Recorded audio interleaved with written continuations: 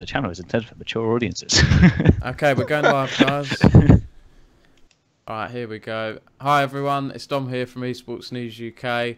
Uh, sorry about the technical difficulties. Uh, as you can see from the stream, uh, Ollie was unsec- unsuccessful in getting his webcam set up on time, so we're half an hour late, but we're all here. We're all together. Uh, we do have a picture of Ollie at least. So, uh, yeah, today we're doing something a bit different. I wanted to. We've been wanting to do this for a while. We keep bumping into each other at events and and, and the press areas and things like that, and wanted to just chat about journalism in esports and what it's like being a esports journalist, I guess, in the UK. Um, so yeah, with, there's four of us here. Uh, if you guys want to introduce yourselves, starting with Mike, Michael, and then Ollie.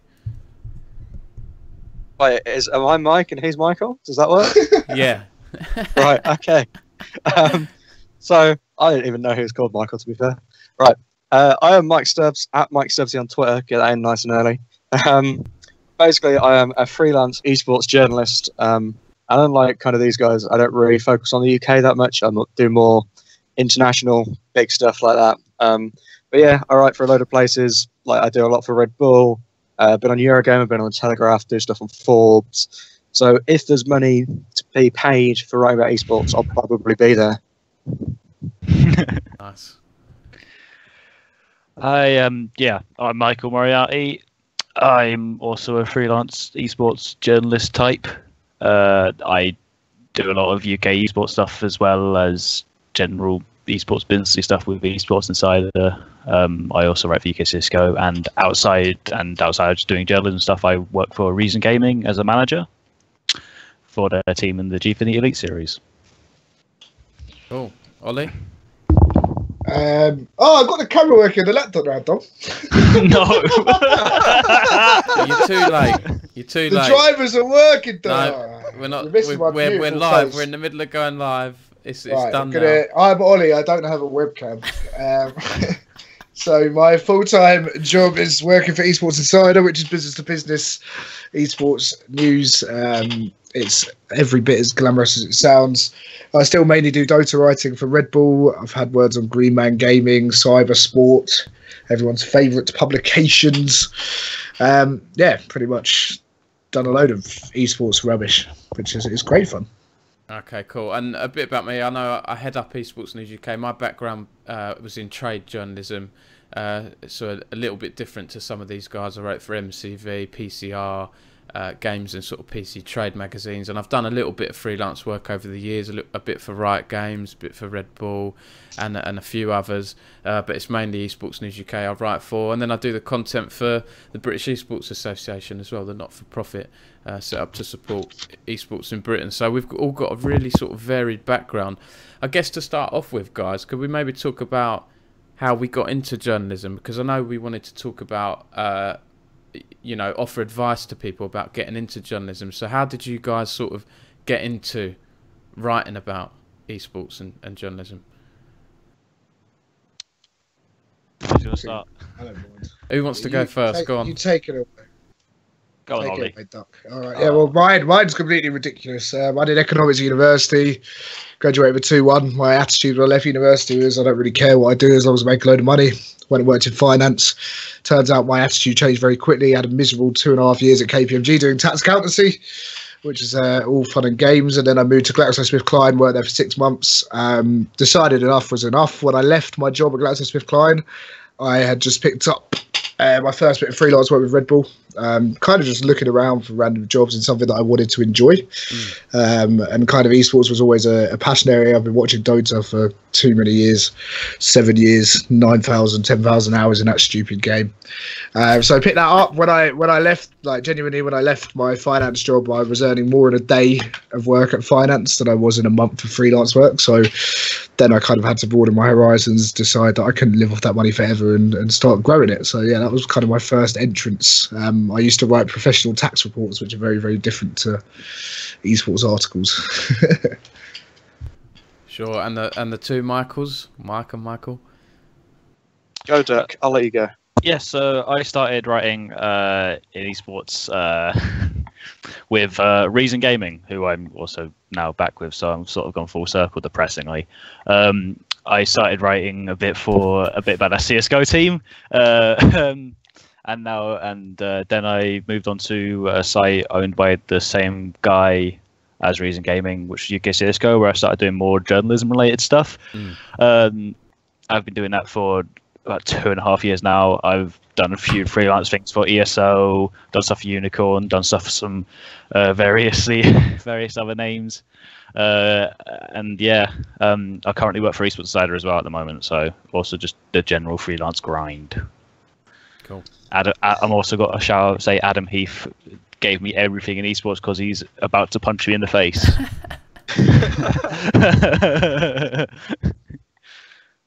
um, yeah, so that was me.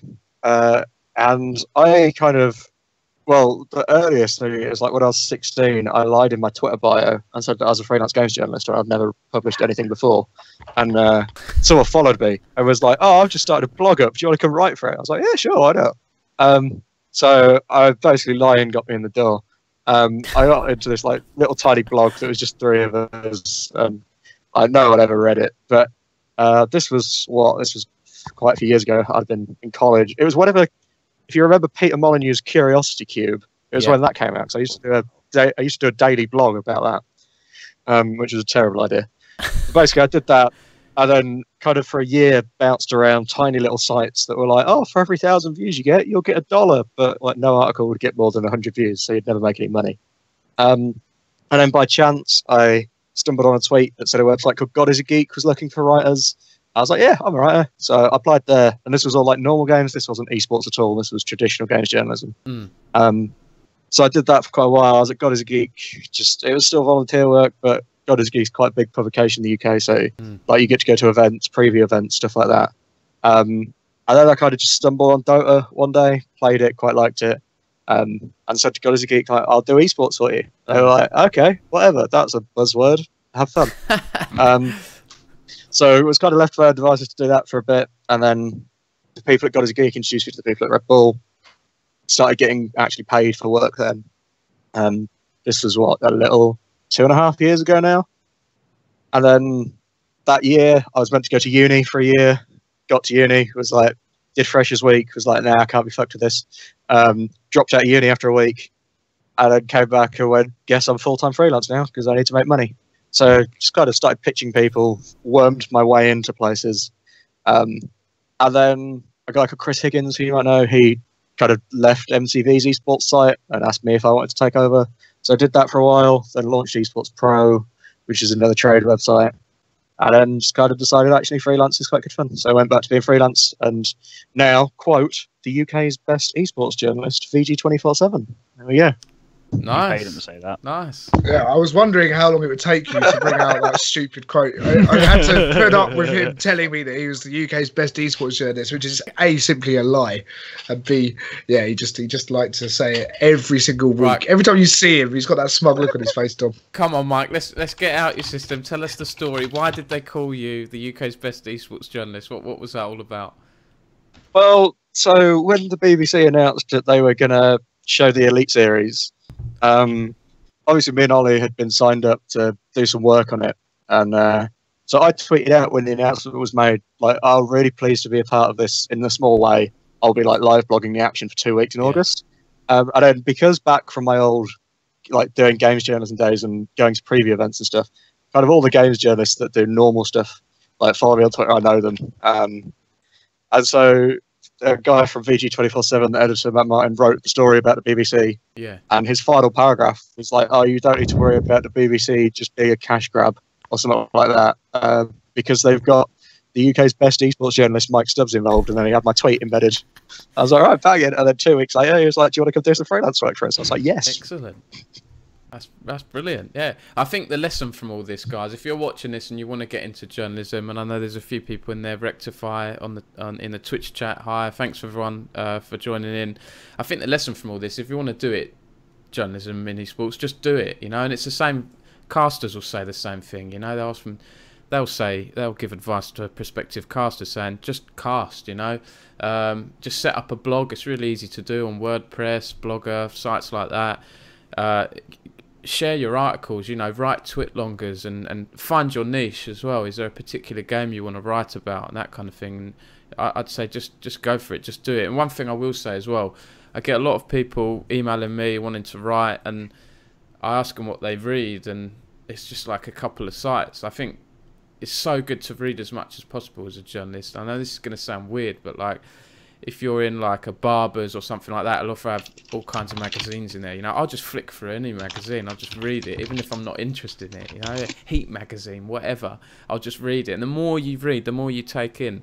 Like it, it helps with like. Uh, I think you don't even realise it, but you subconsciously sort of get better at writing headlines and things. You know, do you guys find that? Do you read like a, a variety of uh, different publications other than just sort of esports sites? Do you think that's important to look beyond our specialism? Yes, because um, as esports is quite a niche industry and whatever, like a lot of people aren't uh, like ex- have don't have massive amounts of experience in writing. So Mm. if you want to improve your uh, knowledge and wherever you go, look at traditional media, so like proper newspaper papers and sports magazines and all that vague stuff, which are sort of things I sort of similarly do. Yeah. Okay, cool. Um, Anyone else in this chat jump chime in? Yeah, Stubbs? no, I think I, I was just going to say on that, like, one of the things. So I back when I was like a teenager, I was a terrible writer to the point where my English teacher thought that I was dyslexic, um, which she blurted out in the middle of class one day when I had no idea. So like my technical writing ability was absolutely shocking. I couldn't string a sentence together. Um, but I what got me into like what improved my writing a lot is back in the old days on a publication called Eurogamer, which is traditional games. I used to read that a lot, and they had two writers. Um, I like Christian Donlan and Simon Parkin. Mm. And Donlan and Parkin are just, they're not just good games writers, they're phenomenal writers. Like Parkin has now gone on to the New Yorker Mm. um, and doesn't actually write about games that much anymore. They're just phenomenal writers. And that's kind of, those two guys are kind of the reason why I wanted to start writing about games in the first place. Mm. Um, and the way they structure their stories and like even go back and read some of the old Donlan and Parkin stuff. Like Donlan's LA Noire piece is probably the greatest piece of games journalism I've ever read. Mm. Um, and just reading their stuff 100% improved my writing because I would see what they would do and go, all right, they've done this. And then like eventually it becomes subconscious that you just steal what they That's do. right. Yeah, um, yeah. But you add your own stuff. sort of uh, style to it, don't you? You know, everyone has their own style. No, I just copy and paste everything. a, a press release fiend. Yeah, uh, just on that as well. I, I forgot to say what sort of inspired me to get into journalism. It was the old games magazines, you know, Nintendo official magazine, N64 magazine. And I remember going to like this careers day at my old school uh, when I was about I don't know 14, something like that, 15. And um, there was this guy behind the desk, the, the sort of journalism area, and there was no one there. And he looked like a typical hack, you know, he was a bald guy with glasses, sort of middle aged. And he was like, I'm so glad someone's come to find out about journalism. Of course, now it's really popular and everyone wants to be a journalist, but, well, a lot of people do. He basically said to me to get your foot in the door now, you know, call up a magazine you, that you're interested in and try and get uh, I don't know, just like visit them, and that's what I did. I called up Nintendo official magazine and got like a tour of the uh, of the office, and they showed me how they do things, how they review games. Because back then it wasn't all download games; it was the uh, I think it was like yeah the N64 at the time or the GameCube, and they'd have to use like a special machine to like uh, you know connect the the machine connect the console to the PC so they could take screen grabs. You know, it's so old fashioned. And then from there, I did work experience with them when I got a bit older, and that's- where I realised I wanted to write about games, you know. Um, but I was useless at news. I mean, I'm, I, I still don't think I, I'm still very critical of my writing. I don't think I could be a lot. I think I could be a lot better at news. But it was working on the likes of MCV, and I was sitting next to the guys that uh, put together the Develop magazine for for games developers, and they're just guys like Rob Crossley and Will Freeman. Rob Crossley is such a good news hound, and uh, go and have a look. I'll I'll put a, a link in the description to this video on, on YouTube. He interviewed Valve like years ago, probably like six seven years ago. It's like a three or four part interview with like Gabe Newell, and it's just such a great interview. When you read it, even now, Gabe sort of predicts what would happen in the games industry, you know, and Rob he got that right. Rob also, I think, when he was at Games um, GameSpot, he did all the stuff around uh, Weezer. You know, all the bad publicity they had that was due to one of his interviews where he really grilled them. And there's a funny sort of Richard Lewis video on that out Rob there Crossley. as well.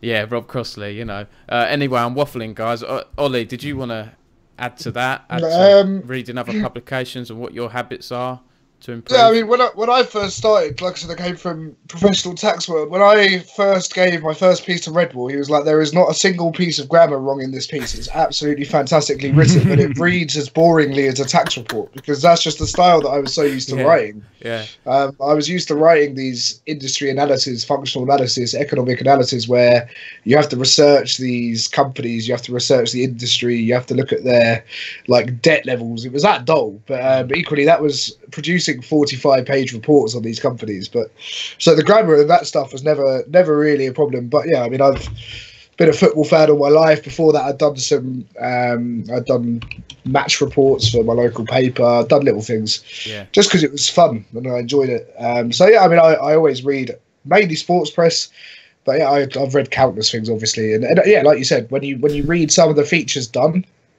um, from outside the esports world, and you read the way that they structure them and the read the, the way they do everything, it's um, yeah, it's it's definitely esports journalism still has a long way to come. Um, until you have consistently top-notch stuff that you do in, in the traditional world, really.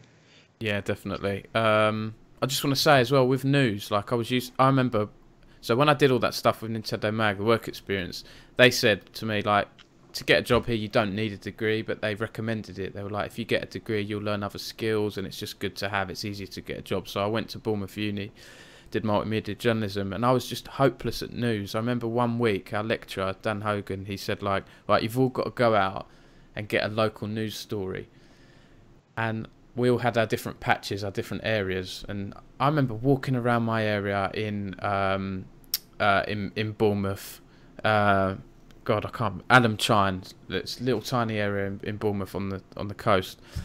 And I remember walking around desperately trying to find a news story. You know, I didn't know what I was doing, and uh, I eventually found like a planning notice up on like this lamppost, and it said something like, uh, uh, uh, "There's a building on the way. Building planning permission granted." Blah blah blah blah blah. So I thought I'll write about this. They're developing here, right? They're growing the area. They're developing. I wrote about it, and uh, the next week when I got my uh, feedback, I picked up my form, and my lecturer had written on it. He's like, uh, "Reasonably well written, Dom, but uh, what the fuck is this? You've written about a block of flats." It's like, it's like the most boring thing. It was like a see me, you know. We need to talk about this. I was just I couldn't find the story, but since then, my first job was at Auto Trader because I, I couldn't find any jobs in games journalism when I graduated. So I worked at Auto Trader for a couple of years, and I just realised news is basically just anything that makes you go, "Oh, that's interesting. That's happened," you know. Um, so and so signed to a new team or, or whatever. There's been a falling out or something interesting.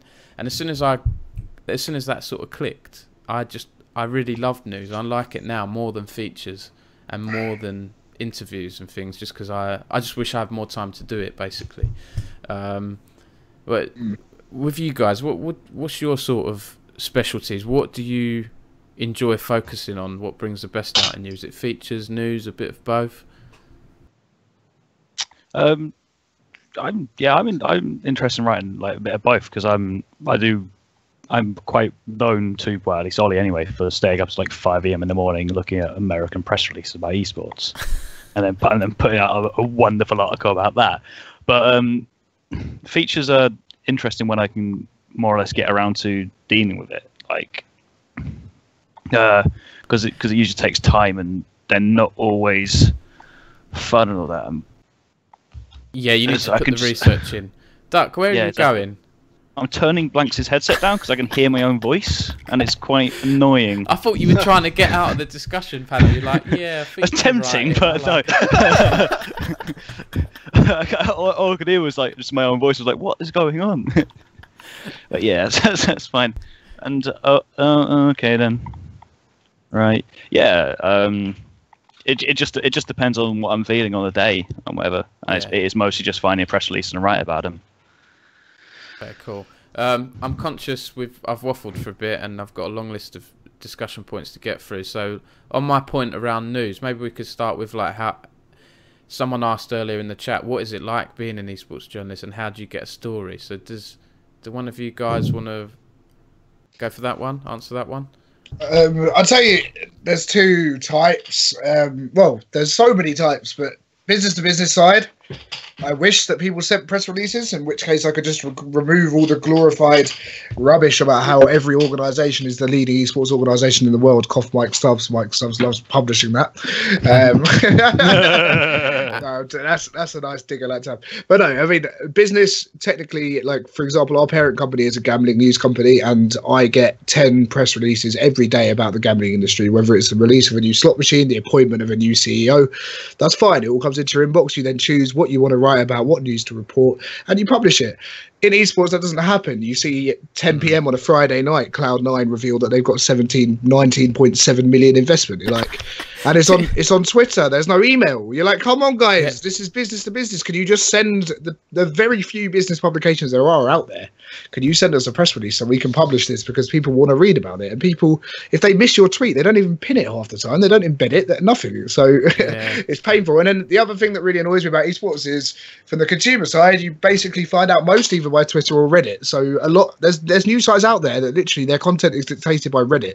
For big dota 2 news websites the news appears on reddit and then they will write an article about the reddit thread which initially reports it. So for me it's like if you if you read reddit then you find it anyway. So these websites don't really serve too much of a purpose for me but but they are out there. They do exist. Um I don't know if there's much of a future for. I mean, you saw gamers disappear and stuff, uh, so I don't know how much of a of a market there is for for these companies that kind of just take Reddit and put it into a website. But yeah, I don't know. They drive a lot of traffic, so Do you know what I, mean, want to say? also the area Yeah, go on, go on. Mike. Just back kind of to the original question that was like, how do you get a story? There's also kind of the stories that you get yourself. So like, they're quite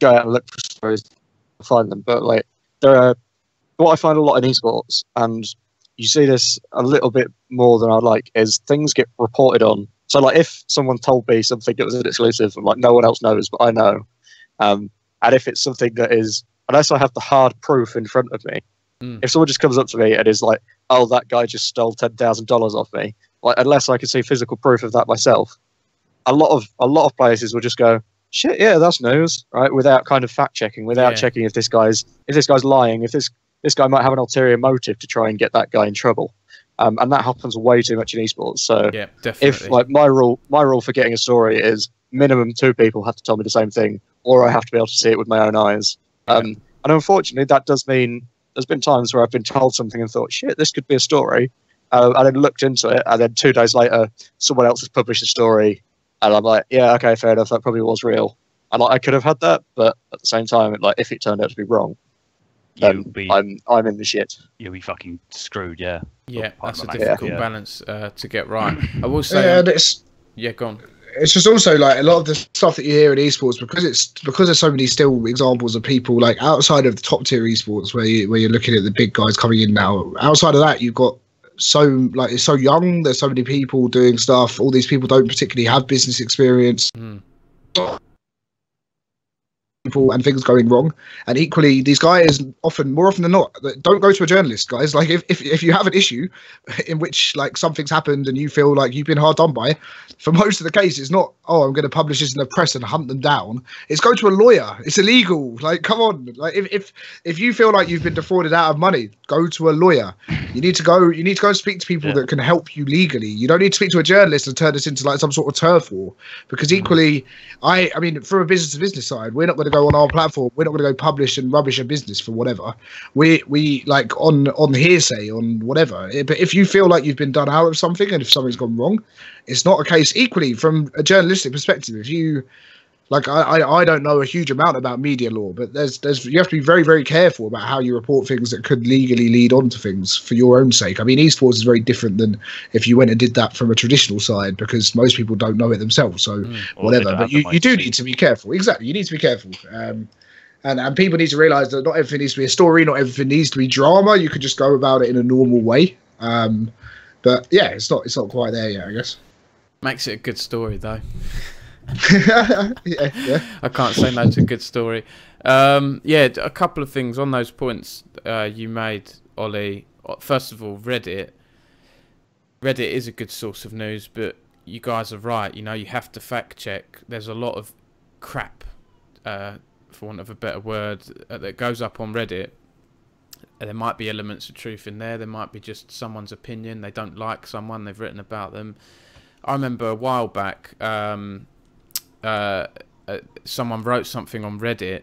It was about um, a streamer, Grossie Gore, who I write about a little bit on Esports News UK because he's a big UK League of Legends streamer. And this was around the time when he got banned from Twitch and had depression issues or something and went into hospital. Someone wrote about this. Um, it was Trid, the, the caster, well-known UK caster, and he put up a, a a piece on Reddit. It was pretty well written. It was basically what had happened, and um, I messaged him later in the day saying, "Oh, nice uh, piece on on Reddit, uh, good journalism or something like that." And uh, he said that wasn't journalism. I went, "Of course it was. You've you've basically fact checked. Uh, you've checked. You, have reported on the, the the incident and you've written it up." into a story just because it was published on Reddit doesn't mean it's not a story you know and he was actually doing journalism and I think where content is content creation has changed so much now and there's there's been a lot more sort of staff cuts you know uh, uh, bigger sites uh, national newspaper sites local newspapers it's that that gap is being filled by people writing stuff who they're not journalists and they're writing things on Facebook on Twitter on Reddit, but they don't have journalism skills. Like Trid's piece was fine, it was good, but for every piece that's written by someone like Trid, there's a piece that's like full of spelling errors. It's, it's inaccurate. There's no fact checking, and accuracy is one of the most important things of journalism. You know, what do you guys think about Reddit? Uh, I guess particularly Mike and Michael in relation to journalism. Does it help you guys do your job, or do you see it as a no. hindrance? No, uh, the the issue with Reddit is it one it's a place where you get you you can source news and whatever. Um, half the time it is a cesspit of idiots who think they know what they're talking about but mostly don't. Two, it's a place where you you you get exposure for your articles. Um, unfortunately, that means uh, good quality journalism and good quality articles usually get outweighed by absolute dross. um, because because those are the things that 13 year old idiots on reddit think are funny and hilarious whereas uh, things that are actually interesting and should be good and widely accessible and shared to more people because mm. sometimes it can be important things around player welfare or uh, conflicts of interest or whatever ignore this um, should really be spread more um, reddit it's a it's a terrible medium and i think mike might possibly agree with half of that or disagree entirely it depends mm. on what he's going to say next. I, mean, I, I agree. I agree that there's a, a lot of issues with Reddit, and I think, um, I think uh, in certain subs, I'm going to say this diplomatically, in certain subs there is issues with how it's ran from the top down, um, in regards to what is and isn't allowed. So I make it no secret that I'm not the biggest fan of some of the biggest names in esports journalism, but the fact that some of some of them are just straight up banned from hmm. uh, certain subreddits like if they write something, it's just not allowed on there. And when hmm. they're producing, admittedly, some of the better content out there, that seems incredibly unfair. And I think Reddit has an issue with the people at the top, and that filters down to the people at the bottom. Mm. The one positive of Reddit is if you're ever in a position where I realize this is a position probably not many people have been in, but if you're in a position as a journalist where you've got a proper news gig, so I've had things with the past writers, I have to have five news stories in a day. Mm. Now, if you're already writing about Counter Strike, and you've got to do five news stories in a day, chances are you're going to get four of them from Reddit, if not more, mm-hmm. um, because that's where everything is congregated and it's just kind of a time saver. So there is positives to it. Like in that situation, Reddit's kind of a godsend because you can go to one website and go, right, there's a story, there's a story, there's a story. Um, but at the same time, the the way that Reddit runs and the stuff that is on Reddit is incredibly bad. And like one of the publications that I write for, I get bonuses based on if it hits certain view milestones. Mm. Um, and you can clearly see the best articles that I've done on that website, like traffic wise, are the ones that have made it to the front page of a Reddit. So in that situation, and for getting in traffic, like if you own your own website, getting on the front page of Reddit is absolutely great because that's where the traffic comes in. Yeah. Um, But yeah, Reddit has some fundamental issues with it, and I'm not the biggest fan. Yeah, yeah. You just like if you need to if you write and you see your post go into Reddit, you need to have a thick skin because they they tend to just say stupid stuff. Yeah, I mean, like if you if you're hiding behind a keyboard, you've got the veil of anonymity. It's a problem with everything in video games. Like toxicity reigns supreme. It's pretty. I mean, sometimes you get great feedback. I've had front page ones that are like, "This is a great article," blah blah. blah. And you're like, "Oh, that's nice." Mm. Sometimes this is the one. This is my favorite ever comment. I have it saved. This article is really hot. I've always wanted to see someone sucking fly's dick, but I never thought it would happen. Yet someone at Red Bull was kind enough to answer my dreams with this comprehensive, world-class deep throat of the handsome and talented captain of OG, two-time major winners. But yeah, that, and that's that still to this day is my favorite. My favorite Red Reddit comment from any friend that I've had. Um, yeah, but you get feedback. Sometimes it's like this is sometimes this is garbage. Do you even have an editor? And you're like, all right, okay. And they've made two spelling mistakes in their retort to use. I like. Do you know the best one I had was something. Uh, I can't remember what it was now. I think I wrote about Choke Gaming's demise a while back, and half the comments. I don't know if it was a vocal minority or not. They're saying I was getting it wrong. I didn't get it wrong because they're nowhere near what what they are now is nowhere near what they were like uh, before. You know, and they were dormant for a Yeah. while. And I think one of the funniest comments I had was, well, I found it funny anyway, was someone going, um, "This is disgraceful article. There's so many uh, like untruths in it. I demand to speak to your boss, the owner of the site." I went, "That's me. feel Hi, free to ask, feel free to ask me any questions, but I'm not pulling the article." You know, and I, you guys are right. You know, I've Reddit, it, it's like a friend and a foe in a way. You know, I, I hate some of the subreddit rules where you have to post share nine other bits of content before you can post one from your own site. I understand where they're coming from there, but I just I just feel like they should have like a separate submit button for journalists. You know, you, if you can prove you work full time for hmm. ESPN or a site, you should be able to upload Well, no, not the- crazy amounts, but you know, one a Yeah. day. I don't. I don't two think it's a problem for these big publications because Yeah, if you're writing big- for ESPN, yeah. it gets shared anyway. It's, it's for the guys that are writing. Yeah. Like if you're writing a UK CS:GO article, I don't know. Like it's probably not Yeah. going to make the main CS:GO subreddit if you wrote that and they was like shadow banned you. It'd be completely Some unreasonable. oh yeah, yeah. I mean, it's like it's like UK Dota, right? There was Yeah. UK Dota doesn't get anything apart from yesterday. Um, one of the more popular streamers um, like went on a massive rant about FPL, so that made the front page of Dota 2 subreddit because she's known to the Dota 2 community. Um, but yeah, the UK is generally there just for a, a bit of a shit and a giggle, really. basically anything negative about UK CS just goes straight to the top of uh, Global Offensive subreddit. Half the half the time I write the bloody thing, so it's always fun. nice, nice. No, it, it is nice. Like I say, it's a bit of a friend and a foe. It's a friend when, yeah, if your story does get picked up, you do get a burst of traffic. Um, I've had a few stories on the front page of the league subreddit, and that's always nice. I had one the other week where uh, it was around a rumor of like the LCS coming to the UK. Is it going to happen? Is it not? And I, in the headline, or in there, I'd put something like, "This suggests that another rumor may be true." And uh, Marc Merrill, one of the co-founders of Riot, put something in like this news news at ten just in rumor of rumor may may or not be a rumor or something like that. And I was like, yeah, I'm proud to have that quote. You know, I'm gonna I'm gonna put that on on Twitter. Whether I'm right or wrong, you know, I think it's good to like get interest from people because that's ultimately that's another part of journalism, right? Is to spark debate and write about things that people aren't talking about at the moment and maybe should be like in, important topics and things like that you know? Um anyway i'm waffling again. Let's get let's get back to this list. So i wanted to talk about like st- off the record stuff and protecting sources because i get this a lot and not a lot of people understand it. Um it, i think in uk sports it's, it's difficult because you have a lot of young people who they'll come to me, tell me information, and then I'll say, "Oh, like I'm planning on doing an article on this," or, and then it'll be like, "Oh no, no, please don't." But then I'll say, "Oh, obviously I won't name you," and things like that. But I think people, some people don't understand that the whole like anonymity thing and how it works. You know, it's just, it's a source at that point. Um, and it depends how much you trust them, right? Whether you, you believe them or not. But um, what what are your guys' thoughts on like getting info in off the record? Have you had any particular I, uh, I think examples of weird, interesting? I mean, not. I mean, I, I understand people's concerns because at the moment, esports is still like so on the ground level. The people that are working in esports are kind of doing it as like their dream job or whatever. So Mm. these people, like, although you say right, you'll be unnamed and, and sources suggest right. If if the employer, so say you've got a story about one company. Um, and that person is part of I don't know, like five or six. Like there's five or six employees. Only five or six are privy to that information, and it gets leaked to Dom Sacco, but who in our company knows Dom Sacco? It, it can get pieced together very quickly. It can damage reputation. Mm. So I understand why people tread carefully. Um, Yeah. Like, I mean, yeah, I, I get told.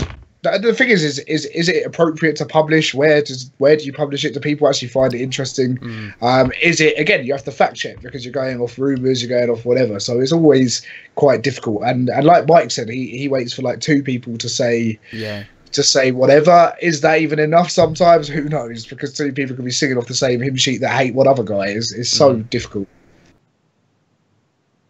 Yeah. Um, I'm I, like uh, so I can re- I can remember something recently because I pretty uh, pre- uh, well, fairly recent anyway with the whole E6 slash Reason Gaming stuff. Mm. Uh, this is before I was uh, involved in Reason Gaming again, so just just like just to cover that my back once again. Um, uh, getting information about some of the other teams involved was like getting blood out of an actual stone. Uh, because it, well, it was more than just Reason Gaming involved in this investigation Mm. and this and it's like uh, I still can't. It's like some some of these email some of these emails to players I still cannot uh, understand why. I was like, look, uh, you're completely anonymous. There's about five, six, seven, eight. There's about there's about there's about fifteen people involved, and they can't all blame just one of you. So it's fairly safe, you know. Mm. Uh, but they still just like, oh, I'm scared, I'm scared, I'm scared. Um, and then you just go right. So I've got so and uh, so eventually, eventually when I got a copy of some, and uh, people were like, oh, you've got it off of this one person. It's the exact same one, and it's like completely different thing. It's like there's so much news, and I could save you guys a lot of hassle Mm. from being screwed over behind the scenes by what is, uh, uh, which is, which is by what is a potentially sketchy um, move from an from a fairly well-renowned organization. Mm. And they were like, "Nah, I just don't care, do I?" It's like, mm, come on. Um, speaking of that, though, uh, some of your off-the-record sources are brilliant, Dom. Like uh, comments towards Smooya in that Reason Gaming article was quite it's quite funny. um, so That's only because the person said to me, "Happy for you to use that as a quote," and I was like, "I'll take that. I'll take Do it. anything I can get." You know, um, yeah, I, I get it a lot. It, it, but you know, I have some people I, who I really trust. I have, I even have some people now coming to me with anonymous emails. I don't even know who these people are. Insiders at different companies that send me emails, and I really appreciate what they do because they understand that it's good to get the truth out there and it's it's important that people like us know what's going on and we've got like um, we're accurate you know because we don't want to put something out there that's inaccurate. So i appreciate those guys that do help me in dms and things like that. I've you know i've got a good assortment of people. Now and i think uk sports is different as well. I think people are willing to help because it's grassroots it's small you know at the moment and anything they can do to help like get better coverage it helps the scene in a way you know good, whether it's good or bad. Because there's that whole old saying there's no such thing as bad publicity right? And i think that's some orgs i speak to certainly have that stance. Some companies have that stance. Not everyone. But um yeah i, I do think like it's so important to have like a real mix of trusted people trusted sources you can go to. But to build that trust up it's not easy. And for me i think because of the kind of articles i write sometimes write drama articles that puts people off you know? So it's taken me a long time to build up trust in the scene i think. Um uh, one thing I, I know you, you wanted to cover this one, Mike. Um, covering events and what not to do when you have press access. I think that's that's Yeah. a good point to cover. Yeah, so I mean, a lot of what I do is going to events, um, and I'm very fortunate that I get to go to. I occasionally go to like normal games events as well. So like if a game's coming out and uh, they do a preview event, I get to go Mm. for that. And in in the world of normal games journalism, th- this is a thing that I've kind of noticed a little bit. Like and I'm not, I'm not, gonna, I'm not saying I'm comparing these two people, but let's say if I go to a press event with like Cliff Bleszinski, who is a, who is a big time game developer, Mm. hundreds of thousands of people, and I'm seeing his game and I'm interviewing him. Like, not a single journalist on that trip is going to go, "Oh, Cliff, can I take a selfie? Can can I get your autograph? Can I something like that?" Whereas if I go to an esports event, there might be like a player that's probably half as well known as Cliff Bleszinski, like probably has 50k Twitter followers or something like that. You'll see loads of journalists go up, like when they come into the press room to do an interview, you'll see, "Can I have a selfie? Can I have an autograph?" Like all that, and that Really, I'm if surprised if I that. If I see that, if I see that, and I know who the person is, then if I'm ever in a position to send someone to an event, I'm just not going to send that person. Like if Mm. even if they're the only person there, I wouldn't send them because it gives such a bad look to the publication. It's like, uh, and I think I think there's a way of going about things, and this is how I kind of try to pre- present myself. Is whilst at times, yes, I'll be an idiot, I'll make mistakes, I'll have a laugh, I'll be the clown of the event. I'll never go up and embarrass the. I'll never be put myself in a situation that embarrass the publication I'm writing for. Mm. Um, I think, and like I get it. If you're if you're a kid that's doing this for volunteering, you just want to meet your pro players, and by all means, like enjoy it, say hi, just like enjoy what you've got, but never. If you could, if you really insist on do it, at least fucking don't do it in the middle of the press room. But kind of don't do it at all because that press access is. If if you fuck it up, and then let's say the like know, a big newspaper came in and sent someone that said they knew esports to an event Mm. so like ESL One Cologne or something like that. And the person they sent just runs around taking selfies with everyone and like tries to get on camera in the back of the stream and stuff like that. It just looks unprofessional. And then they're going to get such a bad rep that they're probably not going to work with that person again. And that yeah, not only fucks it up for that person, it could fuck it up for say someone else who then goes, "Oh, I'll pitch them an esports article," and then they go, "Actually, the experience we had with the last person was so bad that we're not going to take that." Mm. So it's just kind of have common sense. Like, just you're there. Press Mm. passes get you access to events for free, which is absolutely amazing. Like, the, and then you also get little perks. Like, generally, usually there'll be a press room where there is good internet access, which a lot of events is at a premium. Mm. Um, and it also means there's somewhere you can just go sit down, have a chill, be away from the main area. You get so many perks as press. Just be respectful. Don't take the piss. And also, when you're in the press room, don't piss off other journalists because, as this shows, we all know each other. We all talk. If Mm. you turn around and tell me to fuck off in the middle of the press room, then you're all going to know about it, yeah, and then that's going to spread, and you're going to have such a bad rep. in esports, especially journalism, is so small. Eventually, that'll get back to the people with the money. That'll get back to the people that are hiring for the jobs you want, and then you fucked it for yourself, haven't you? Yep, definitely. And Um, those kind of things when they get on know- Twitter, Yo. when they Sorry. get on. Sorry, I was just gonna say when those kind of things get on Twitter or get on Facebook, uh, journalism groups, they can spread like wildfire. And you're right, they can really damage your reputation. I will just say really quickly with like, um, I did this grassroots esports panel at EGX the other week, and the organisers asked me, "Do you have any pictures of you like interviewing players or whatever?" And I, I looked at my um, uh, computer files, and really, I didn't. I, I had to get screen grabs from videos, and it made me realise, like, I do have a couple of pictures, but it was kind of instilled in me on my days at MCV not to ask for freebies and things. I was never like that anyway. I don't feel comfortable doing it with Gamergate and everything as well. It just, you know, it reinforced that. I, I, won't, I don't go out my way to do that. Some people will just brazenly go up to companies and go, "Oh, you got any free headsets? You got any free stuff you can give me?" And yes, that is a perk of the job. You might sometimes get freebies. I never really ask for them, and this is a, a really good reason. I just I don't feel comfortable doing it w- with the job. You know, if if someone emails me and said we've got this thing for review, I mean, let's have a thing in esports. I don't really need to review products. I've done a couple for my site. You know, e- esports is kind of different. But I, I will just say, uh, Mike, on the selfie front, I have had a few selfies over the years, but I would never go up to someone like straight away and just do it. Usually, it's I've done an interview, and you might find this, guys. You'll do an interview with someone, and you'll get like the PR or someone else going, "Oh, do you want a photo?"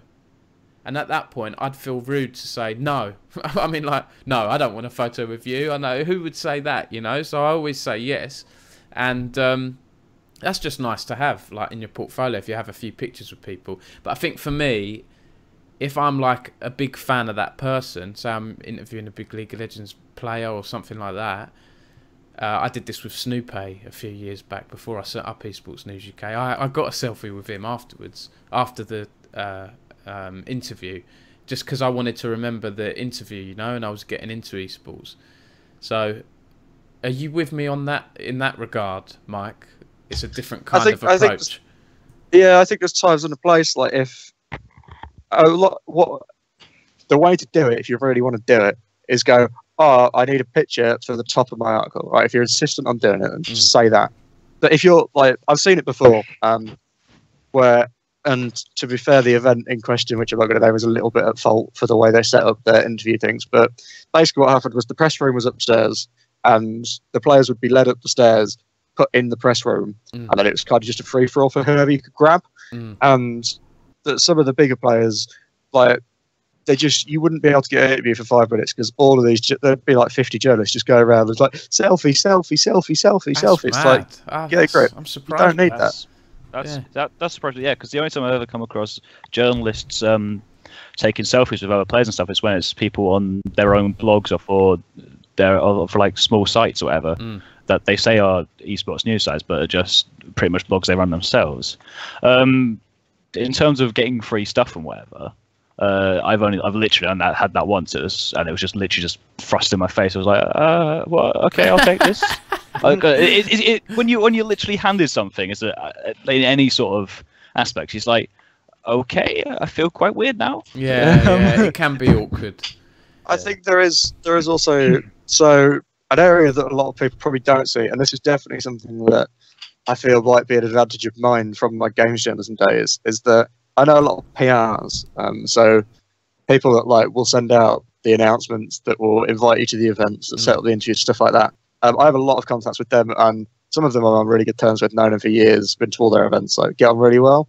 And it's kind of if they're repping a client that is a hardware client, and they go, right, we've got this client. Is there anything you want to do around them? I might go, yeah, sure, I could do this, and then they'll go, oh, do you want me to send you whatever this person is doing? Mm. And like because I have that good relationship, and I know that they're not going to get on my back and all that sort of stuff, then I'll probably say yes, just because it can add that extra little bit of depth. So like if I did something recently that I don't think has gone live yet, but um, will do soon, uh, about a gaming chair company who the founders are like Mm, old StarCraft players. yeah. So I've done a big feature on that and an interview with the guys who set it up about like, well, why why would you stop playing StarCraft to go make chairs? Um, and it's actually quite interesting their story. Mm, And then the the PR behind it was like, oh well, we've got some chairs. Do you want one? And like, I get on very well with the PR, mm. and I, I'm not getting a chair because the chair's worth about 500 quid, and that would be a little bit uh, over the top. But if that was something that was like, oh, if it was a headset or something like that, I might say yeah, because then I can go instead of just saying they make really good chairs, like or headsets, they Mm. make really good headsets. I could go. I've used this headset. I know that they make really good headsets. So maybe it probably was a good idea to stop playing StarCraft. Mm. Um, so I think the relationship is key. I would never turn around to a PR or a company that I've never interacted with and just go, "Here, give me some shit. I might write about it." Like that. Just, no. But if it's a relationship that I know, like there's certain PRs that I get well with, and I know they're not going to be mad at me if I turn around and ask for something, and I know that like it's just going to work. Yeah, definitely. It's Um, it's weird. The the selfie thing I complained about at TI because in TI there was a lot of um, so TI the international Dota's biggest event, 25 billion prize money. All the players are there in the day before the main event in the press room. Obviously very stressful and yeah, there's a lot of people taking selfies. And then on Twitter actually, I was I was like flying back or something. So I just woke up to about 50 notifications when I landed of people like debating it. And to be fair, I, I mean I I don't particularly like if you've done an interview, then Mm. do I see it as? I mean, Ti was very, very, very well organized, which I don't normally say about anything that Valve are involved with at all.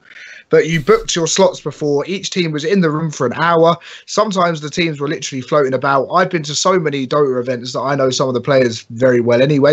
I don't feel the need to have a selfie with them because I don't, it'd be weird, like me going up to my mate in the street and going, "Let's let's have a selfie" or whatever. I don't, I wouldn't do that. But equally, if you look at the traditional world of press, like take, I don't know if any of you listen to Talksport, Yeah. Um, or you know Ian Abrahams. Yeah. Ian Abrahams every single day. He The Moose. posts pictures. The moose. He posts happy birthday to my friend like Jack Butland, and he has a selfie with him. He has a selfie with pretty much every footballer, like down to Gillingham Division Two players. Like I'm not even joking. Yeah. The guy's like, oh, happy birthday to my mate Paul Shaw. He plays up front for Gillingham. He's 39 today. And he's got a selfie with him. And then it goes all the way up to Sanchez and Ozil. And you're like, right. So it, it is done in the traditional world. Admittedly, I've spoken to people in traditional Yeah. sports worlds and they all think that Moose is a complete and utter cock. So Yeah, but he's building up his brand, right? And that's what I want to come on to as well. In journalism, we've necessarily that anyone will report badly. Oh, sorry. I, I So I think I went full there, robot there. I think my internet just cut out briefly. Yeah, sorry. Yeah, I was just saying, I- I don't I don't think it will necessarily go back and make your publication look bad. Yes, when it's a free for all and people are just going in when there's people trying to ask questions. Yeah. I think that looks stupidly bad because that's not if a player has limited time and you haven't booked a slot and it's not that well organised, then the time should be used. If it, especially if it's like post match, it should be used to do the reflection and the proper work. Mm. It's like you wouldn't get someone running up to Jose Mourinho post match at a United game and trying to take a selfie. They're there and they're going to try and answer the questions to then produce pieces which are good rather than like running up and taking a selfie selfie with Mourinho. It's not going to happen. So yeah, I, I agree with Stubbsy on that, that part. Don't I will say, don't do just it. to count, Yeah. count on one point that you said there, Ollie. I've had a publication before where I went to an event on behalf of them, um, and it was a publication that I worked with a lot, so they were kind of a little bit chill. Um, but they were just like, I don't need to tell you this, but like, don't be a dick. And they specifically said, don't go around taking selfies. Oh I was my like, who do you think I am? But like, yeah, they, they were like, I think it looks really bad personally. Um, I mean, I mean, Again, different it editors think depends on- differently, right? As well. it depends so- on the situation, but I've definitely had editors come up to me and say, just like, don't take selfies, don't embarrass yourself because it'll get it'll embarrass us. And I mean, equally, I yeah. Like at TI, so many people are there and they're meeting these players for the first time. Some of them have come from like Brazilian outlets where they're working for like smaller blogs. Some of them I didn't know this, but they're YouTubers, and obviously then it makes a f- world of sense to have Yeah. like they're, they're I mean, they're, they're- I looked at this guy right. I never met him. He was speaking Spanish or whatever. Anyway, I looked him up afterwards, and he has infinitely more subscribers than I would ever imagine most people I've ever met have had. He, he was huge in, in Brazil. So him taking selfies, although I was like, who is this guy? I've never met him before. He's obviously not an esports journo. He was there from a traditional game side, from a YouTube side, and pushing TI content out to a massive base of people. And he was asking for selfies. So I don't really have the right to be annoyed at him. yeah. There's certain things it gets on. It does get on my back at times as well. But I mean, yeah, generally, as long as you're not completely ridiculous and over the top with it, yeah, I, I kind of agree with with what's been said. So Yeah, and I will just say on events, guys, Richard Lewis pointed this out in one of his videos in how to get into journalism and things. Going to events is so important because in this really digital world of esports, you get to actually network with people in real life, you know, which uh, everyone's on Skype and Twitter and things like that and DMing each other and to actually talk in person. I think every single event I go to, big event like EGX or Insomnia, um, uh, ESL Prem finals, I'll usually get a story just out of talking to people, you know, whether it's a rumor or or whatever that I can follow up on. I think it's so I important just- to network. to add on that, like I've, I always say this: if you see me at an event and you want to get into esports journalism, by all means, come up, say hello, Yeah. and like, I might not help you there and then. But if you hit me up on Twitter afterwards and go, right, this is what I've done. If I think you're good, like if, I've always said this, and I do this for a few people. Mm. If you're good, then I will 100% help you. Um, I mean, there's one writer who is kind of does a bit of CS:GO stuff. She also does a lot of normal game stuff. I met her on a press trip to Berlin Mm. to go play Epic Games' MOBA Paragon like two years ago Oh, yeah. um, Emma Matthews. She's really fucking good, and she was just on this press trip, and it was me and like two journalists that I know really well, and felt a bit bad that we kind of ignored her on the plane over. So afterwards, we went to the bar, and she was just like, "Oh yeah, no, I write for a few places, and I just try and get into it." And now, like, if I ever see a freelance call that I think she'll be good for, I'm like, right, there you go, I'll send that to you. Um, That's nice. I I think like I'm in the fortunate position where I kind of don't need to chase after every freelance call. If something's not something that I want to do, I don't have to do it. So I, I always I've got a group of probably five or six people that all have different areas of specialities. Where if I see a freelance call that's good for them, or I know of an opportunity that'll work them, I'll send it across and I'll try and get them. So again, if you ever see me at an event, come say hello, and who knows, you could join my network of minions. I'm the same on Minions. Esports News UK. If we get volunteers, we have a little Skype group, and we're just always sharing job openings. You know, uh, internship at Eurogamer or whatever, you know, as a freelance, uh, an esports site looking for a freelancer and so on. And I think that's important to do because when you're volunteering, you want to build up that portfolio, right? And then you want to you want to go and get paid work, you know, and it's not easy And to do. You say that there is a, and it's not easy to do because you've got to know how to do it. And this is also something I'll help you with if you ever want to. But there is a surprising amount. I've been saying this quite a lot recently. There's a surprising amount of money available for esports freelancers Mm. because the problem is where the money is changes every six months because so many investors come in and they'll go right here's a million quid for a year right now if you're a freelancer a, a company's got a million quid to run Mm. you're getting some pretty decent rates off that right but the problem is they'll invest a million quid and then six months down the line they'll go hang on we've got 2000 people reading this website and we've just invested a million quid we're not making any money and so the money will drop out like it can Mm. drop out within a week sometimes so it's very unstable, and you've always got to know you've got to be looking for that next opportunity. But new opportunities coming all the time. I I think there's two big websites launching within the next month and a half, Mm. each of which reckon they've got hundreds of thousands of pounds of funding for their first year. And it's like, right, okay, I know them too. I'm probably going to do some work for them too. When at least one of them fails in six months' time, Yeah. I'll go look for the next one where the money comes in. And so there is the money is there, and there is a lot of money um, available to the point where like uh, during uh, the start of the year, so kind of April May, it was at the stage where I turned down work because I was physically too busy to be able to do things. Mm. Um, so the money's there, the pe- people just don't take it because they don't know where it is, which is another problem. Yeah, I've you're got- right got- though, Mike. There is a big opportunity for freelance esports journalists because there aren't many great esports journalists. There aren't many esports journalists out there, full stop, really, because it's still relatively new. There's a million games journalists, but there aren't as many esports journalists. So You've got a good opportunity to carve your name. I remember I- I read the Daily Dot and and uh, uh, you know ESPN and all those sites and the score.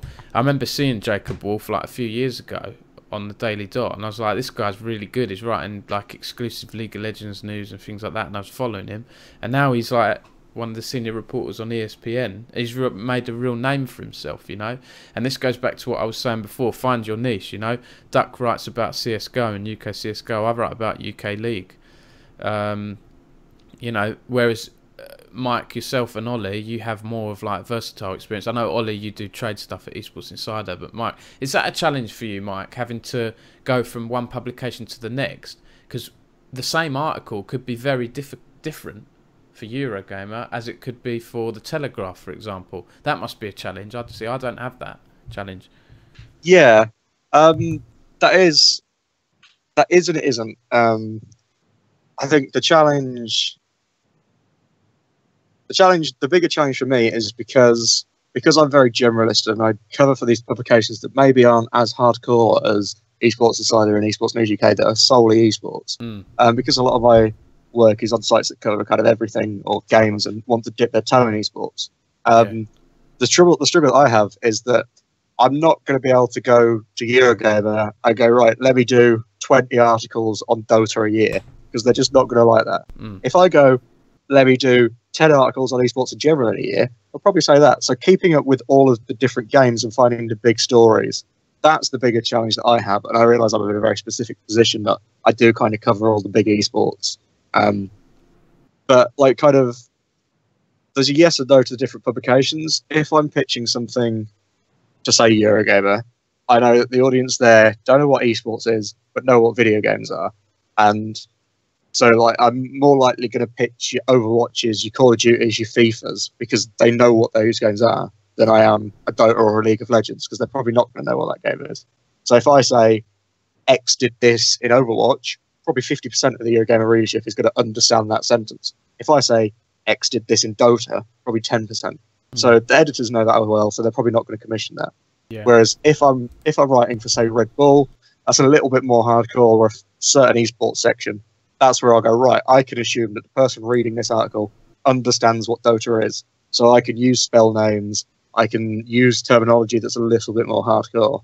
Um, and then I was on Boomio, the really hardcore Counter Counter Strike website at the start of this year, Mm. and that was actually a bit of a challenge for me because that was kind of it wasn't the first, but it was kind of the first big game specific website that I'd written for, where the fans know everything about that game. Mm. I'm, I'm not a Counter Strike expert by any means. I'm like silver master. So I'm silver. I'm terrible.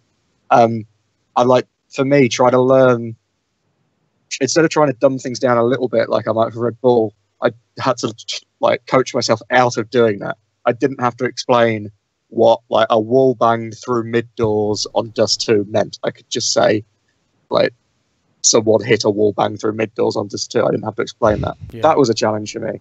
Um, and I think you just got to know your audience. It's not necessarily publication; it's know the people you're writing for. Yeah. And if you are sending a pitch to a publication, make sure you understand what their audience is. So, like I said, we use Eurogamer as an example again.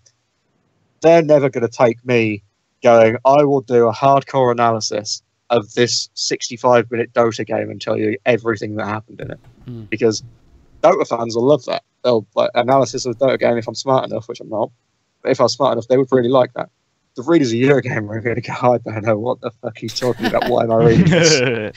so you've got to you've got to choose the stories that you tell and where you tell them. Yeah. Yeah, definitely. Um, one thing I wanted to touch, we, we touched on this slightly earlier, guys, like the reactions you get from readers. I've had a mixed bag. I like to think I've, I've built up the respect in general in the UK League community. There are always going to be some people that, um, I don't know, I don't know if it's my personality, but I just I can be quite annoying. So I think there's just some people that just don't like me, and that's fine. I have to accept that. I think since writing about esports, I've built up a thicker skin compared to when I was writing just for trade publications. Because when you're writing for trade, it's managers and, and people who are in working in in the trade. They're likely to read it and not react, right? Unless you've really got something wrong or you've really written an amazing thing. Whereas in consumer, you're likely to get reactions all the time. So there are there are a handful of negative ones I get, but in general, I'm pretty pleased. But I know you gave us that quote earlier, Ollie. Have you had any particularly like challenging readers or people that no matter what you do, seem to jump on you, or Um, any examples where you've turned it around and you've sort of handled them? Um, I mean, I I tend generally I I don't tend to be too interactive on Reddit. Um, the people that I know that enjoy my content, whatever, that's fine. It's good. When I mean, the thing is, when you when you see when you interview a player that's big in the Dota world or whatever, and he has thousands and thousands and thousands of followers, it gets retweeted. You can read the responses. Sometimes, I mean, I've had people DM me on Twitter and ask me for my full portfolio of work because they want to read everything I've ever written. And I'm like, you don't really want to do that. I've written 400 business to business news articles. Like, come on, you don't want to read that. I'm telling you So that you've now. got big fans then, Ollie. I mean, it, it like sometimes you have people that are just big fans of. I mean, there's certain features that I know when I've written them, and I mean, I think personally, I prefer feature writing. I really like it when you get a really good feature. They're just really bloody hard to come by because Yeah. sometimes when you do a Q&A, it then comes out like a Q&A, and I don't think there's any like yes, asking the right questions, fine, but at the same time. Um, yeah, asking the right questions is, is a t- is a skill that you need to have, um, and to get the mo- most interesting interview you can out of it. But at the same time, it's, it's kind of one type of feature. I have wanted to do more kind of sort of long form telling a story. There are a few journos that do it very, very, very well. Um, I haven't had the chance to do too many of them. No, not you, Stubbs. Don't you point yourself like that. No, like Will, you you know Will Partin. He wrote an Arteezy Yeah. one, went out on uh, whatever a big publication in Canada. Like it was a massive, massive article. I don't know where you'd ever get that many words commissioned anywhere in the world. Um, I like long form writing. I've done a few Yeah, over the past few months. I really enjoyed putting it together. I mean, I've I've written twenty five hundred word articles like crazy, and you get, I get paid the same rate. So it's just Mm. out of the of the passion. Like I could get away with writing eight hundred, but at the same time, whatever you just you just do what you what you think makes a good piece. Yeah. In terms of feedback, I mean, Reddit, I, de- I generally won't. If someone comes out with something, I won't get on the defensive and go and fight him because if you do that, you're just gonna set yourself up to be kind of witch hunted by these couple of idiots. So I kind of just I read it if I think they've got a fair point. Sometimes I've I've said Yeah. something wrong in my article, Same. and then I'll I'll go and I'll go either to the editor or I'll go into my article and I'll amend it, Mm. and I just I'll drop a note saying thanks, didn't notice that, cheers. Um, but yeah, it's it's um and that I mean, I've- I-? Yeah, I imagine. I imagine with the kind of smaller niches um, that you guys dabble in, you, you kind of have a lot more interaction with the people that directly read it, um, especially like UKCS, UK Esports News UK. You have a lot more interaction. They're, they're quite vocal on Twitter. They're quite like a small, tight knit community anyway, um, which obviously breeds a lot of drama, breeds stories. Any yeah, but with with sort of when you're writing about international Dota and you're interviewing a Malaysian team, then you're hardly going to have too many people come and witch hunt you or Mm. say that you're reporting wrong because you're, you're doing features on a Malaysian team at the end of the day and they're all the way over there and you're over here. So I've, I've had one person. I've, I wrote about the drama in UK CS:GO. I want to clear this up with people watching. I don't write about drama because I enjoy it. I write about it because I feel there's an important point to be made. You know. Oh, Mike, are you still there? We've lost Mike. Lost Mike. Uh, this is going to go wrong very quickly. Uh, hopefully, he comes I'm watching back the stream.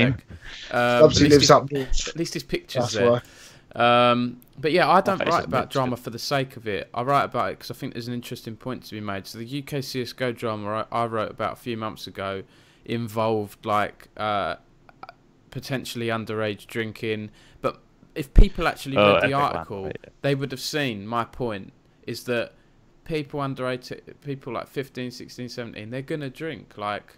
You know, Yeah. uh, No we've all blooming done it. I've drunk at uh, whatever it was, 16 or 17. You try it one or two with your friends. Like, you're not going to be able to stop that. So that's why I wrote about it. I was basically Yeah. defending the, the UK CS:GO. A lot of people didn't see that because they don't bother to read the articles. Uh, some of the younger, some people in No. esports, you know. No, so pe- people don't bother reading articles because because their attention span doesn't last longer than 30 seconds. Mm. Um, so yeah, it's like uh, it also talking about UK CS:GO and all that, all that lovely fun stuff. Mm. Uh, I there there's there's quite a, there's I'm respected by quite a few people in terms of articles and writing things because I know what I do and I do it quite well on, on occasion. Uh, but there's also people who think I'm a cunt, but I also mutually think they're a cunt as well. So you know it, it equals out. So um, we just don't talk to each other often. Um, So yeah, that and that's literally the only way I can survive in this country in this fuck in this ah, this this this community for anything longer than ten seconds, whatever. So yeah. I, I wanted to say as well on the CS:GO thing. One of the comments I had, I was on holiday at the time and I'd timed some content to go live, and I was trying not to te- check Twitter, but I knew that was the day my piece went live, and I knew I'd have a lot of notifications. Checked my phone really quickly at lunchtime. I had loads of notifications, and there was this one guy who was saying to me, uh, he was just completely negative, and um, I retweeted him at one point, and thankfully that can be a good technique if you know people that respect you. I retweeted it because I thought it was a weird comment, It- and I had lo and behold like people defending me, which is really nice. I really appreciate appreciate that, and I do the same. Likewise, I do the same for people when I see it happen to them and journalists and so on. But this person, he was saying to me like around the UK CS:GO stuff, ha ha. What a waste of life! Like you- you're a prick, and you're writing about seventeen-year-olds. Ha ha ha. I, So I if. I, if I'm a sports journalist, I can't write about Messi when he was 17 years old. Is that what you're saying? I know it's different comparison, but there are going to be teenage, um, you know, esports players, and that's a problem. Do you know what I mean? I just thought the logic was flawed. Yeah. Um, Mike, are you back with us? I am back. Sorry, someone decided to turn the internet off. That's okay. That's okay. You got back really quickly. Um, so we were just talking about reactions from Drama. readers Oh. and, and DMs and things like that.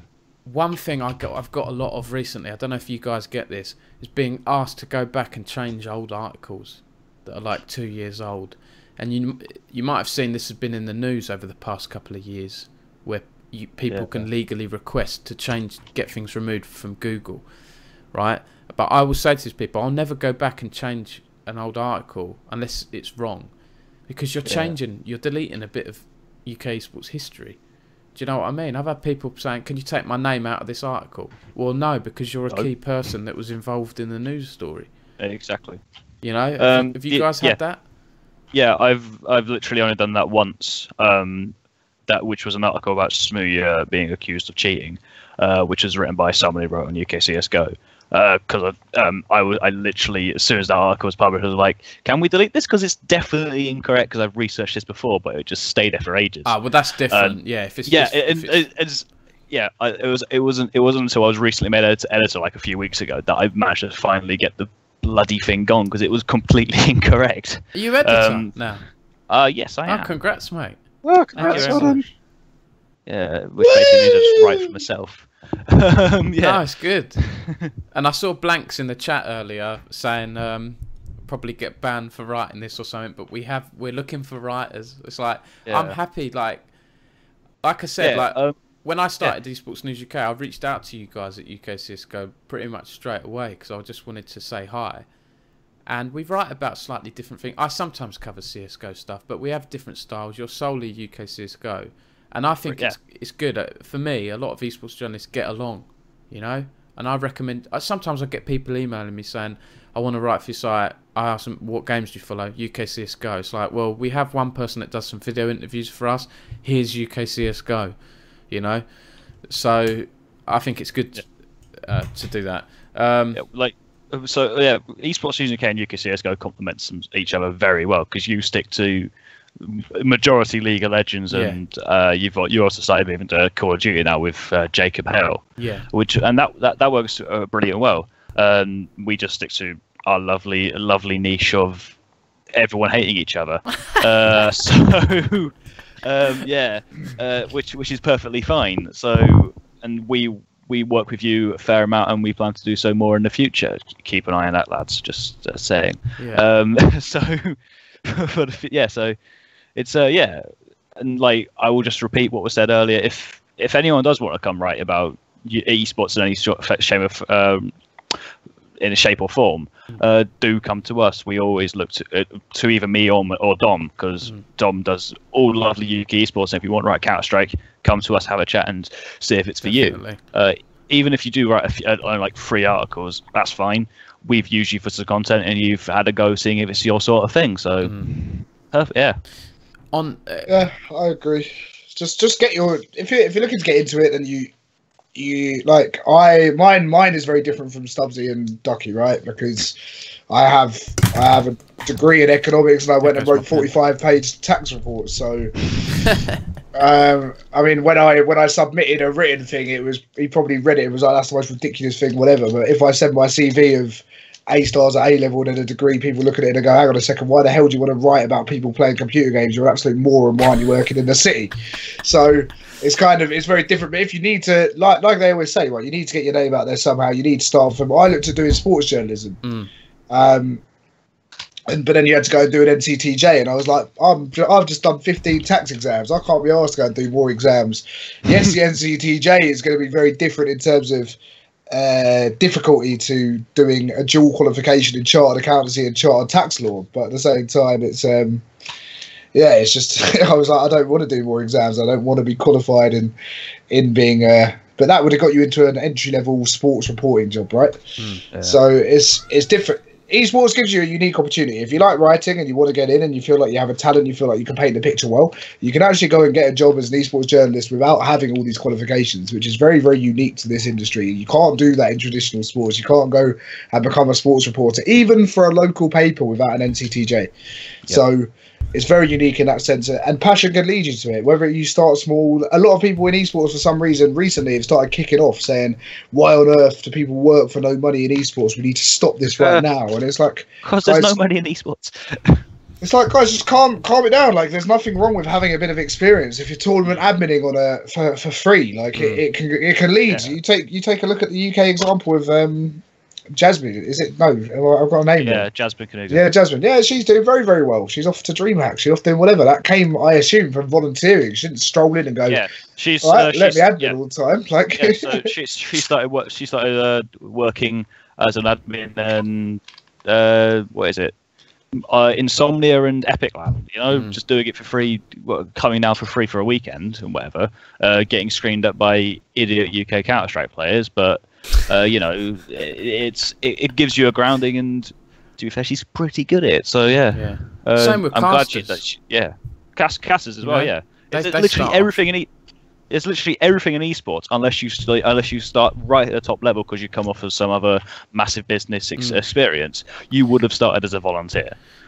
Um, guys, I'm Unless you're conscious. Yeah, go on. Sorry, uh, Duck. Finish what No, you, I was what you wanted joking. to say. That, I'm done. That's all Okay. I'm saying.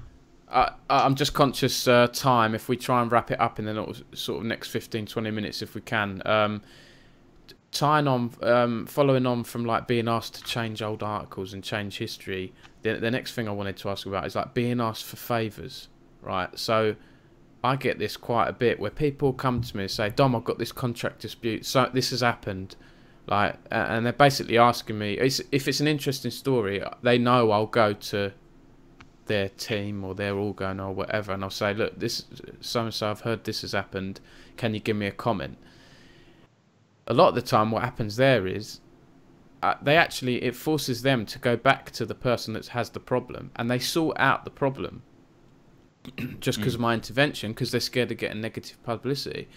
I've had people resolve the issue and then go to me and, and I'll say to them, okay, have you got an official comment? Then I'll write this up. It's like, oh no, it's resolved now. It's not a story. It's like, no, that might be the case sometimes, but a lot of the time, if, if there was dispute going on for weeks, it's still a story and I still need to write it. Do you guys get that where you get people coming to you asking for favours and then not respecting the fact that you're still a journalist and you might need to write about it? Uh, yeah, I've had that a couple of times with uh, some players, um, but I will I will always do it. Um, I don't necessarily mind I can't get a story out of it at the end because I am I will always be and will never stop being pro players. Yeah. Um, uh, if if I can if if one small action myself can uh, sort a massive issue out for a player, I will 100% do it all the time. Um, sure, I get, I, I do feel a little burned that I can't write something up afterwards. Um, I might write a, a, vague opinion piece that references it but doesn't name the entire uh, event yeah. in, entirely, uh, which is something I still have to finish up at some point. But yeah, um, but no, I would never. I don't necessarily mind too much. You know, mm. it's it's worth it to uh, help out what are, what are occasionally mates or uh, just another person in esports. I agree. I think it depends on the situation, right? Every everyone is mm. different. Uh, Mike and Ollie, what you have you had any examples there on a freelance and trade I, perspective? Um, I think I think the other day there was a, a really good video done by Thorin. I don't watch a lot of Thorin stuff, but some of the stuff he talks about. So it was denial. He talked about denial esports, who are known for being, and he was sort of denial esports. I don't know if anyone knows, but it's a, it's run by a guy called Robbie Rinigaudia or something, and yeah. he's he has he has a reputation, and Denial Esports have a reputation for owing players money, and it goes it goes around in cycles, and then they get a new roster, and that roster then comes out six months later, and it's kind of why do they get burned? And I mean, I mean, his his point was he basically did a video of why do these organisations still exist, and the simple answer is is that these the players that are trying to make it somewhere in esports, they want exposure. Where do they get exposure? They get exposure from the likes of Denial Esports, who have that network. Mm. And yes, it will keep happening. Yes, they'll stop. They'll keep not paying players the money, and for some reason, players will still come and play for them because they're still helping out the players. They're still getting them into competitions. Yeah, they're still giving them that name. So yes, Denial Esports, they're not good because they they're stealing and they're doing whatever. But at the same time, the ecosystem in esports at the moment is kind of it's kind of tough, and that's why it's you still have these all. They're never going to go. It happens everywhere in business. There's still examples of rogue organisations, rogue whatever, um, and that that never will go away. But I mean, I, I don't personally have any kind of stories as close or relatable as, as you guys because typically I'm I'm reporting on a global level rather than mm. in a tight knit community. So I've never had like a, a player I mean, players in, in Dota, if they've had issues, they just go on Twitter and Reddit. That's the mm. bloody one of esports. They don't come to a journalist say, write this up for me. They say, I'm going to write it in my own blog. and that's the way it happens. So, um, yeah, I mean, it just goes back to the kind of immaturity and the youngness of the industry, I guess. Yeah. Have you not had that from a company perspective, though, Alex? I remember when I was working on PCR, I had this small independent tech distributor who were getting shafted by Amazon because Amazon uh, they were sending returns back to Amazon. Amazon weren't acknowledging that they received the returns, so this disty was getting out of pocket, and it was mounting up and up and up until they'd bit up a bill of whatever, hundred grand or whatever it was, out of pocket by Amazon. weren't getting anywhere with Amazon, so they came to me and they said, "Dom, we've ummed and armed over this for so long. We need to go to the press because we're out of options. We're running out of money." I mm. called Amazon up. I did my research. Called Amazon up. Said, "Do you have a comment?" Two hours later, the Disty, the distributor, phoned me up again and went, Dom, what have you done? Amazon have got onto the phone with us and they've they've agreed to pay us back like sixty percent. And then Yeah. again, I had that thing where they were like, "Please don't write the article." It's like I, I have to because this is a. And then I found out Amazon were doing it to other companies as well, so it was a story by that point. You know. Yeah, Mm. I mean, I mean, uh, I would say in esports, it's you don't. I mean, I don't. I don't particularly have that from my side, but you you have Rich Lewis, who basically has built his name over. God knows however many years as, as he posted and he exposes and he, he Mm. doesn't he doesn't have a filter necessarily on, on what he posts and therefore um I mean, investigative journalism is hard at the best of times. Every company in esports is private. You try and find any information about any company, you don't even know what they've registered their company as. It's, it's so difficult Yeah. to get information. So, investigative journalism is, oh, I smell something fishy here, but how can I get more information? And most of the time, you just can't. So, Yeah. so yeah, you, you just it's, it's very difficult, and you need to spend a lot of time. And, and generally, do you have the? Do I have the time? I've got I've got a full time job. We have to run events. We have to do this, that, and the other. Do I have time to go and chase and sniff down a, a lead that might not even exist? No, but then you have Rich Lewis, and he does when he gets these big stories out, is because people go, I have this bullshit story of me being mistreated. How do I get it out there? Who do I talk to? Yeah. Rich Lewis. I've so drop in, drop into his DMs, and Yeah. it's, it's and I mean, if you if you have a suspicion about something or you wanted to do an investigative piece, it's always worth saying, all right, Rich, Mm. what do you know about this? Because he knows a lot of random stuff, and he gets messages from all over the place about this happening, that happening, and then eventually it amalgamates in a big piece or a big expose that he'll do. Um, but it's very it's very difficult just from anyone else's perspective to kind of do anything particularly investigative because it's all hearsay and you, you don't really have anything concrete. It's very difficult to look into accounts. You can't. You just can't. So Yeah. it's, it's hard. I, I want to say as well. Uh, I, I, sometimes I'll, I'll get people saying uh, to me like, "Oh, you write about these guys quite a bit, Dom. You never write about us. How, how can we get publicity or whatever?" It's like it's so simple. I say this to so many Send me an email. Just contact me. You just just Yeah. contact me. Just DM me. I've had people. I get it all the time. Dom, we've got an announcement. Can you write about it? Well, what is the announcement? You know, Uh, you brought a, you've you've I don't know, you bought a new PC. No, that's I'm not going to do a, an announcement on that. you know, if you Yeah.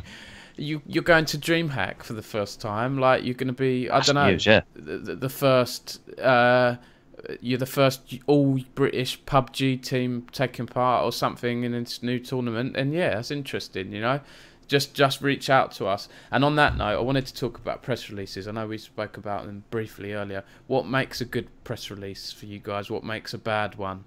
Does any stand out? I hate the ones you get that go like "Greetings of the day" or "Hi, I hope you're having a great day." You know, exclamation marks. Uh, I don't know why there's this weird thing with press releases. You know, there's these weird cliches that have come about. I just want the information in a nice, structured way.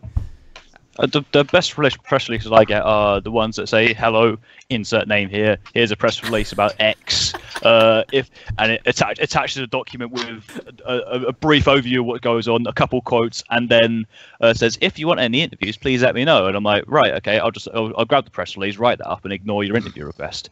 Um, so, Do you mean Yeah. actually they've left X in? They've they've put oh no, no, dear no, no, Mr. Journalist because I've had that before. Do it insert I've- here. Insert. I've, I've had the wrong name before, but uh, uh, usually just means dear Michael or whatever. yes, Yeah. Which is, I had an interesting one from the rug from England rugby the other day, which was like, Uh, I had that as well. that's a, I don't, I don't write about sports. I didn't Fair get enough. So about women, England women's rugby team or something. Like that. Okay. I, th- I, th- no, I think, I think it was uh, reporting the official travel provider or whatever. I was oh like, right. okay. oh, okay. Yeah, it was the official, the official travel provider for the England women's rugby team or something. Like- That was it, yeah. What a That's perfect for us. Anyway, it's, it's like it's yeah. You get you get press releases from. I mean, yeah, from everyone and anyone. The amount of times, Dom, you you get these. You get. Can I put article on website? What is it about? Oh, it's about sports slot machines. No, you can't. It's strictly not related to anything we do. Shut Do up they and leave really me alone. They're going to ask a journalist, "Can I put? Can you do an article?" And the journalist will say yes without f- asking what it is first. No, I know, I, mean, know. And then what- like, I've I've had before where like a company's been like, here is my Dota two article, and I'm like, Sam's like, can you have a read over this because he doesn't do Dota? And I'm like, yeah, mate, this is absolutely 185% pure garbage. This is going nowhere near the website. I mean, it's yeah, it's it's you get some funny stuff through this. Um, but I mean, press releases for me, I personally just don't understand why you need to like not fabricate, but you you don't need to add. It's like a waste of their time as much as it is our time. Mm. Like saying, okay, yes, on a few publications it might sneak through that they're the leading organization or the world's best when they're just not. It's Like- not true. I hate all that stuff uh, going Right? through. Uh, You know, I, I'm. Uh, people know this. I'm open with it. I occasionally put some sponsored articles on Esports News UK. I think native content is a lot better, a lot value more valuable than like ads. No one really clicks on ads that much. Um, but I'll always bills. mark it up. But the amount of sponsored articles I get that are full of like, this is the greatest thing in the world, and I have to take it out and say, look, you can't put that you know, we can't be seen to be saying that because it's not true, and it's just fluff, you know. But the, that probably gets through, you know. They, they, and I feel for the press officers sometimes, the PRs, because they know that that's not a great piece of writing, but it will be their bosses, it will be their clients that will say, "Oh no, we have to put this because it's part of our ethos, it's part of our slogan. Yeah. We are the I world's think it's just- best." Yeah, Yeah. it's just part of the it's just part of the like PR circle jerk roundabout kind of thing. It's, it's just the way they do it. it, it it's fine, right? It's like equally they're like, why do they take it out all the time? But they, I mean, I've spoken to PRs that write these things, and they're like, yeah, I don't want to do it, but you have to do it, right? Yeah. If you sent a plain PR just describing your client as whatever, they're going to go down the road to the next PR who's going to send out to all these media outlets that they're the world's best because that makes them feel better. It massages their ego. yeah, Um, so I understand as much from their side that they have to do it. At the same time, with me, I'm like, I wish they didn't because it makes my life slightly more inconvenient. But it's not, it's not that big an issue. No. It's like a, a minor, like annoying point. That's pretty much it. Yeah. Okay. Um, all right, Mike. Anything you want to add on, around press? I think on a- we move on. on a similar note, it's not necessarily press releases, um, but especially on the larger scale, not necessarily in the UK. Um, teams, if you're like a team owner, just get someone or be prepared to do it yourself who can answer questions and will set up interviews. So, like, there is a reason why every time Immortals does anything ever, every publication will have an interview with their CEO, their new player. They'll have the press. Right, That's because exactly. they've got they've got their own PR man. They have an internal person who works at Immortals So whose sole job it is just to reach out to teams, reach out to not teams, reach out to journalists' websites to set up interviews with the teams. Mm. That's why if I get an editor to turn around to me and go, right, I want an interview with the League of Legends team and I need it within the next seven days, I'm going to go to one of about three teams that I know have a PR person that I can work with Mm. and that can turn that round in seven days instead of going through about 10 different people to try and find the person I need to speak to. Mm. Make it obvious who that person is and make them make it easy for press to get access to, to the players, to the announcements, stuff like that. Yeah. And that's how you get your coverage. It's not about necessarily like half the stuff that Immortal send press releases out. Like if if I just saw that on Reddit, I'm not going to care. But because it says at the bottom, we can set up an interview with Noah Whinston, with Get exclusive our new- content. our new COO, our new Counter Strike players. Mm. As soon as it says that, I can go right. Okay, I know that's an easy win that I can set up within the next seven days, and is topical. Right, I'm going to write about it. And there's much more interest. Like Optic when they signed their Dota team. Like man, I'd, I'd quite like to have interviewed them, but fuck me, getting anything out of Optic unless you're going through a sponsor is like pulling nails to anything. Exerto. What? Hey. What's this? Something's been shared in the chat, right? Yeah, no, I just, I just said you, it's not really topical, but you'll read that when it's done. Oh, I I saw that. Yeah. I, well, I saw the rumor of it the other day. Yeah, and, that, and that's come through. Thanks for sharing that. I'll, I'll get on that. oh, well, that, that's two days old. You probably read it already. Oh, I've probably already that. read it. Yeah, I was meaning to go back and, and change something to my article, but at this point, there's so many rumors upon rumors. I'm just waiting. But yeah, I should do something. Um, that what you were saying, Mike, brings me nicely onto the nice, uh, the last point around sort of competing with other people for news that aren't journalists. So, for example, you've got influencers, YouTubers. YouTubers are more entertainment focused than, than news and informing, but um, orgs as well. You know, if I'm writing news, um, I'm technically, in a way, competing with the UK esports orgs that put their own announcements up. But what I've realised, you know, over the years doing this stuff, that news is news, and I'll often just retweet it now. And uh, people don't understand sometimes. They'll come to me and go, Dom, can you write about this? If it's just a small roster announcement, then no, because there's a million UK orgs with a million roster announcements every week. I need something exclusive, something fresh, something different. If you want to get me the captain of that team to say something interesting about uh, the state of UK League of Legends or a bold ambition they've got, or you know maybe they're not on friendly terms with another team and th- there's something going on there, something interesting, then yes, I'll do it. Um, what what what are your guys' thoughts on? competing with in a way the people you're writing about because of how the nature of Twitter and competing with influencers. Yeah, I, I mean, I think I think it goes back to basically the cycle that I see is for especially on the global scale with the likes of Dota. I mean, it's it's weird, right? In Counter Strike, you have James DeKay from Slingshot, who everyone knows is the guy that will typically report roster shuffles before they they happen. Um, in, in Dota post TI, I knew I knew most of the roster changes. I know about ten people, fifteen people, twenty people that knew the roster changes. There was a couple of like murmurs on Twitter. No one wrote it up in an article because at the same time as it was like, look, at the same time, just respect the players. Let them announce their rosters when they're ready. Why do you need to go out and leak it before it happens? Some people like it, some people don't. I mean, it could have made a site a few clicks if you like drew a clickbaity. Here's the new rosters for whatever. But at the same time, some people just have different attitudes towards whatever. Um, yes, I guess it is news. Personally, I mean, I don't. I think I would go mad if I had to do a lot of actual, like, relevant new, like, sorry, um, like esports non-business driven news because, like I said, I just, I just feel like most of it comes through.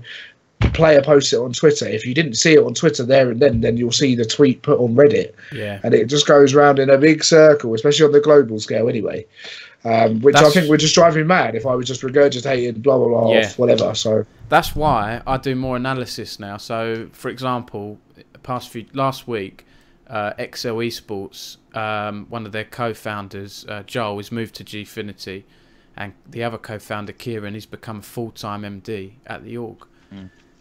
I knew it was already old news because it was two days ago, but I wanted to write about it because I felt it was interesting. So I did the angle of an opinion piece. Hard work pays off.